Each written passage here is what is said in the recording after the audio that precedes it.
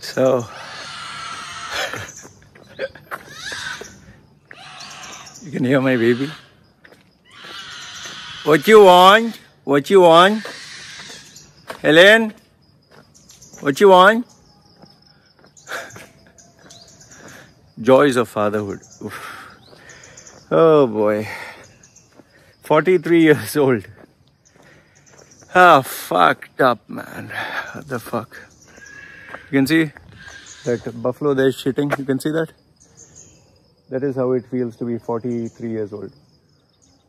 Uh, buffalo's tail is up, his asshole is open, and he's trying to shit it out. Ah, boy. He's constipated, I think. He's trying to shit it out. So, this is this is how it feels to be a year older. I couldn't have timed it better. I couldn't have said it better. You're just going through the motions of shitting out everything that's useless, that's messed up, fucked up, and trying to have a better life. So, 43. Let's see. I'm sure if you follow me online, if that is, if you have no other job, no other job to do, uh, you would have known uh, I posted the update exactly on uh, my birthday. The reason I did that was because uh, the following year, at the same time, Facebook has the news feed that keeps uh, repeating itself. So I thought it would be nice to have this memory on that date, on that time. Now, uh, um, you know, just to give you a summary of what happened, uh, wifey was the first one to wish me uh, at around uh, midnight one. My cousin sister wished me, but that was uh, 40 minutes before. I don't know, maybe she was going to go to bed or something. So she's, I said, it's still 30 minutes or 40 minutes more. So wifey waited until it was 12 and dutifully at 12 sharp, she came into the room, wished me, gave me this sheet of paper. Uh, no, she gave me this box and she said, happy birthday, okay? So I took the box and, uh, you know, first obviously it is guess what. So opened up the box and there first I saw a piece of paper that said 10 million US dollars. So, and that is what I showed all of you. What uh, you guys didn't see in that was my wife actually, um, below that, she had given me Thai baht currency, and that was 10,000. So, what she was trying to imply was, I wish I could give you 10 million, but this is all I can afford. And for a girl who doesn't earn who sells clothes, uh, second-hand clothes for a living, and you know her margins are hardly half a dollar or whatever. She paying all the expense, paying everything in the house, taking care of whatever there is. She still managed to save, save, save, and maybe through few weeks or months, she was able to save and buy for me, you know, save the cash for me. And uh, the poor thing tried to tell me, like, uh, in her fragmented English, at least she speaks English, I don't speak Thai. Such a shame, I have to learn. Uh, but I'm lazy. Anyway, so she told me I saved long time, long time, many, many months. so the poor thing tried to tell me that, you know, it was not easy to save. So I registered that in the head. I didn't say anything. So then we took the photographs and put it up. So I had the 10,000. I had that paper. The paper, I kept it at the top. The 10,000, I then kept it in the box. And after that, I went to my wifey and I gave it to her. I said, okay, keep. No sooner I said that, her face, you know, expression changed. She looked upset. She was like, uh, you don't want Uh, and I said, no, no, no, this is for us. Like, because, uh, you know, I'm, see, technically speaking, I'm the guy who earns in the house. Okay. I'm the guy who earns, I'm the guy who gives. And uh, it's like, for example, to give you an analogy, it's like you earn, you take care of your son or your daughter, you give them pocket money, and your daughter or son saves the pocket money and then gives you the cash and says, Here, dad, this is for you. So it's the gesture is amazing.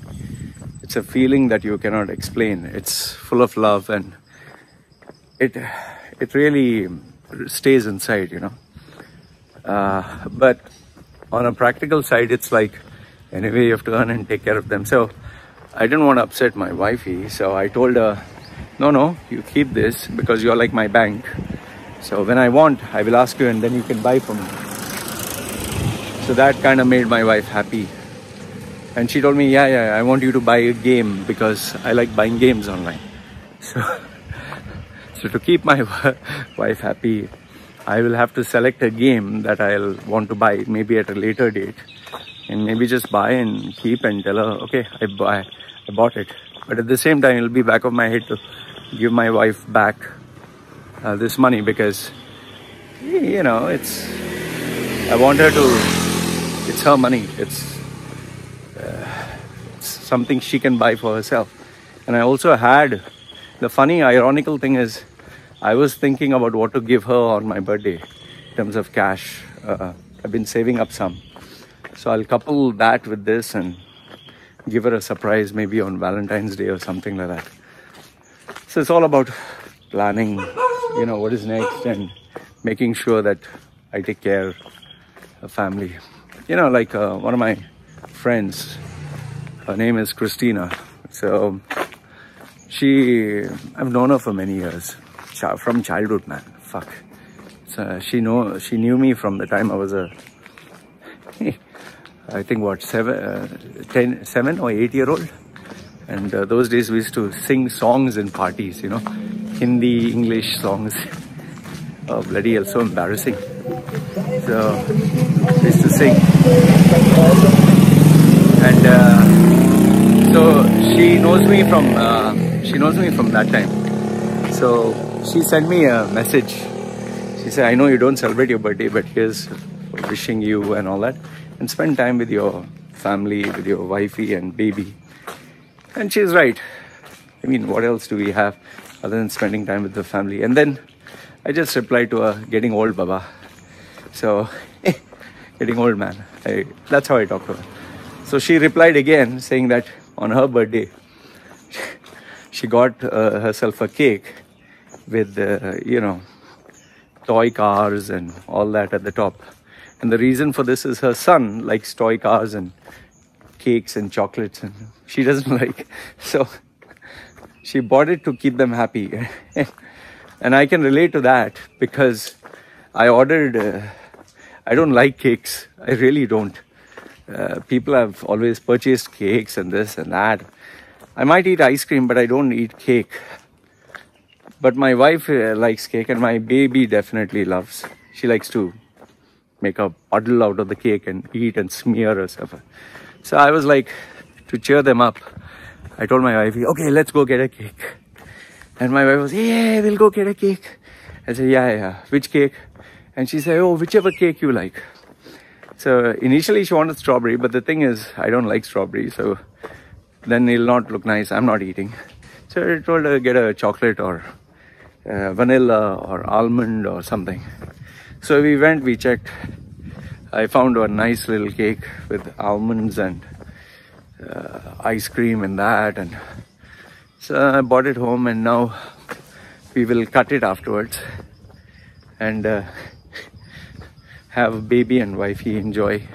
So it's uh, see the reason why I oh someone anyone who's old celebrates their birthday or does this is not for them. We don't do it as we grow older. And if you're younger, you will not be able to understand this. But as you get older, this happy birthday, you don't give a fuck to it, man. You don't think about it. You don't even bother. it's like uh, it's just another day. It just reminds you, oh shit, okay, I was born this day many years ago. But uh, you know, you have your priorities. Life just goes on. It's business as usual, and um, you just start contemplating and reflecting on the same things. Like even right now in my head, it's like, okay, how many emails? What is the work to do? Who are the clients to meet?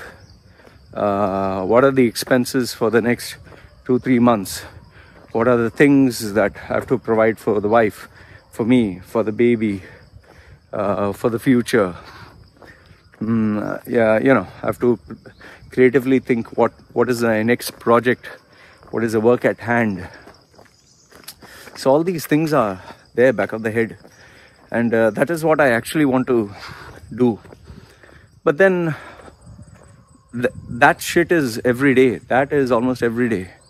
In fact, to tell you how did I celebrate my birthday, I mean, uh, after my wife wished me, uh, all the pleasantries were over. I went back. Uh, I was eating food, and that time a client from Australia just sent me a message and said, "Hey, man, uh, uh, you know, just want to talk." And uh, at first, I just thought it was another happy birthday or he said, uh, I want to have a session. So when I checked, uh, it was, you know, it was an old client. So I said, I don't owe you a session. He said, no, I want to book a session. So I said, oh, fine, say like that. So immediately, because a client was ready to pay money, I immediately said yes. For me, money talks, man. And had the session, spoke to him. After that, I finished the session. I kind of realized that uh, I had this uh, videos of a Thai massage center where I had a massage done with the fire. You can see it on YouTube. The problem with that uh, video was I had many, many clips, many clips scattered throughout my phone. And given the fact that I have, uh, I think 64 GB on my phone, my phone gets filled up very fast. And if I don't get rid of the videos, they just pile up.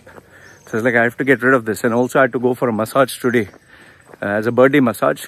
Maybe I'll go for two hours, especially for my legs for blood circulation. So I was like, I want to finish this. And then I was like, fine, I'll finish it right away.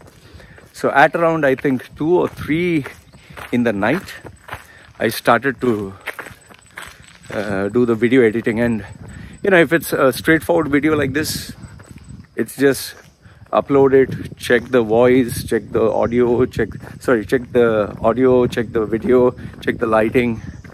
It's perfect. Upload it. I have a template. Uh, so it's just the rendering part then the uploading part then the youtube uh, basics you know filling up the details designing the thumbnail okay but when you have a video that has many many splits uh, areas that you have to edit remove make fast slow um, stuff that is uh, boring for the audience. Uh, a lot more effort goes into that. A video like that takes two times or three times the effort. So where a video like this would take, say, 45 minutes to finish, upload and share, a video like that would take three hours, four hours. And it did. I ended up uh, uh, sleeping. By the time I finished, I was exhausted. And I finished at around, I think, 6 uh, 30, 6.30. 6.30 I went to sleep in the morning. Ah, fuck. When I woke up, I was like, ah, fuck, like a zombie. You know, when you wake up after sleeping uh, irregular hours and not properly, you, and especially if you're old, older, not old, you, fuck, you just don't want to do anything. But I got up, my legs were aching, my body was aching. Coronavirus! like to scare my wife. So I, you know, I didn't want to do anything. I just thought, okay, I'll go for a massage and enjoy. But then I was like, no, it's my target. Must finish my five to six kilometers slow run. Push yourself. So I went, started slow, still felt lethargic, but after some time, the body just wakes up and then I was like okay I'll need to do this video So overall, it it's just been a normal day, man. It's been a normal day. The only thing that is there in my head is, okay, I want to take my wifey out for food, uh, for some kind of enjoyment. I want her to feel relaxed. I want her to feel loved. Uh, she and the my baby girl, uh, just for them to feel happy, you know, because for me it's all about making money and focusing on my career, my life. But yeah, one thing is, given the fact that I'm 43, I have a couple of now, you know, things up my head. I need to sharpen my skills. I need to read and study and learn something new. I can't keep giving people old stuff. There is competition. There are people learning new technologies, uh, formats. I need to be the best in my industry. So I have to learn something. I have to spend some time allocate these many hours into reading, studying. So I've gathered at around, I think 15, 15 books or 20 books from uh, resume rebranding to interview skills, the latest ones. And uh, first I will finish all of them. After I finish all of them, underline, take down the notes and see what are the new things that I can learn from. Oh yeah, by the way, I also wrote an article about a school teacher of mine who used to help me in the days when I was a jackass. I was a really mischievous kid, man. So I even put that. So yesterday was a productive day. It was a nice day. I was able to put a lot of content, which for me is very important. I need to brush up on my writing skills because I realized I've slowed down a little bit there. So might uh, start focusing on writing an article a day. Maybe I'll just uh, join a medium or something. I don't know, let's see. So overall, uh, this has been how the birthday went. Oh yes, plenty of messages, WhatsApp, and I appreciate it, guys. Appreciate it. Um, you know, yes, I do know that it's thanks to Mark Zuckerberg that everyone remembers my birthday. Others, nobody would remember. It's not like we have kept a private data entry of Loy Machedo's birthday. Don't forget to wish him. In fact, for me to remember my wife's birthday, even she repeats it a hundred times, I keep forgetting. So I'm bad at that. Or rather, maybe I don't think it's very special or anything great to remember a birthday. So, yeah, well, thanks to Mark Zuckerberg, all of you remember my birthday. But the fact that you took the trouble, uh, I appreciate. So half of the people, I don't know who they are. More than half. I think just maybe 5%. Rest everyone is like, I don't know. But yes, I'll respond to each and every one. That's what I always do. I always respond to each and every one. Each and every wish, each and every person. So yeah, now the game plan is finish the video, get fresh, go for the massage, ensure that the legs really take care of their health then uh, have food in the house plan out the shopping and think of something special for wifey where she can go out eat something feel nice uh, you know just want them to feel special so yeah guys this is 43 you know and if you want to know how does it feel people ask me how does it feel to be 43 and my answer to you is how did you feel last year? How did you feel the year before? How did you feel the year before that? How do you feel now? You feel the same. It's just that these numbers keep rolling. People say age is just a number. Age is not just a number. Age is a number that does have its impact and implications. Just as a brand new car, never been used, versus a car used for 10 years or 20 years, there's wear and tear. Same thing, wear and tear is there. Maybe mentally you'll feel invincible, but there are a lot of things a small baby can do which you can't. From your bones to your joints to your health your immunity. You'll realize this only when you get old. Yes, there are some people who say, Oh, Jennifer Lopez, look at Jennifer Lopez. And, Baba, if you believe that she's natural, like they say in Hindi, no? Charana kam hai. Anyway, guys, I appreciate whatever I do have. I appreciate. I appreciate the presence of all of you, good, bad, ugly, the good comments, the bad comments, the haters, the spammers. It just becomes part of life. Thank you for being there.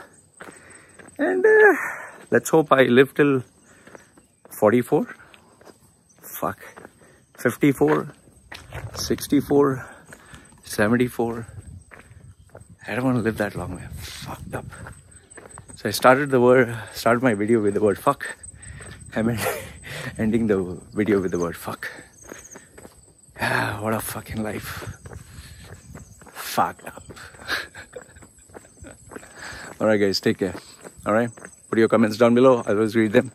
This is me signing off.